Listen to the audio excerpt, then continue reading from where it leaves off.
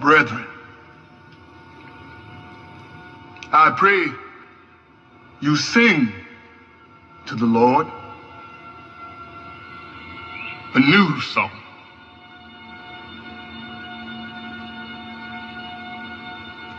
Sing praise in the assembly of the righteous.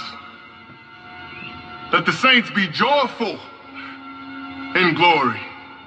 Let them sing aloud on their beds. Let the high praise of God be on the mouths of the saints and a two-edged sword in their hand to execute vengeance on the demonic nations and punishments on those peoples, to bind their kings with chains and their nobles with fetters of iron, to execute on them this written judgment. This honor hath all his saints. Praise